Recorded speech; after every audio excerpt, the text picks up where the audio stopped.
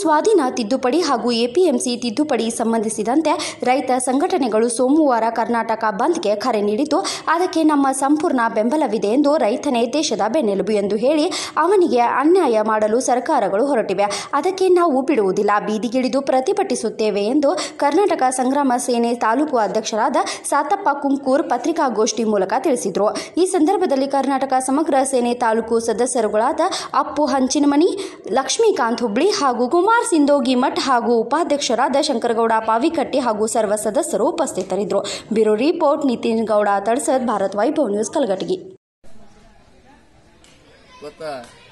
ಏನು ರಾಜ್ಯ ತುಂಬ ರೈತ ಸಂಘಟನೆಗಳ ರಾಜ್ಯ ಕೇಂದ್ರ ಸರ್ಕಾರದ ಭೂ ಸ್ವಾಧೀನ ಕಾಯ್ದೆ ತಿದ್ದುಪಡಿ ಹಾಗೂ ಎಪಿಎಂಸಿ ಕಾಯ್ದೆ ತಿದ್ದುಪಡಿಗೆ ಹೋರಾಟ ನಡೆಸಿದ್ದಾರೆ?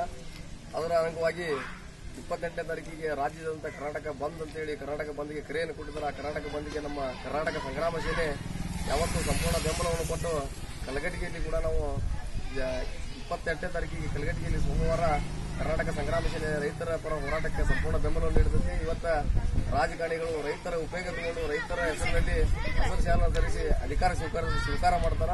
ಆ ಅಧಿಕಾರ ಸ್ವೀಕಾರ ಮಾಡೋದು ಮಾತ್ರ ಹಸಿರು ಶಾಲ ಹಾಕ್ತಾರ ಮತ್ತು ರೈತ ವಿರೋಧಿ ಚಟುವಟಿಕೆಗಳ ಕಾರ್ಯರೂಪದಲ್ಲಿ ಮಾಡೋದ್ರಿಂದ ರೈತರ ವಿರೋಧಿ ಇರುವಂತಹ ಸರ್ಕಾರಕ್ಕೆ ನಾವು ಸೋಮವಾರ ಪ್ರತಿಭಟನೆಯಲ್ಲಿ ಭಾಗಿಯಾಗಿ ಸಂಪೂರ್ಣ ಆ ಸರ್ಕಾರವನ್ನು ಎಚ್ಚರಿಸುವಂತಹ ಕೆಲಸ ಮಾಡ್ತೀವಿ ಅಂತೇಳಿ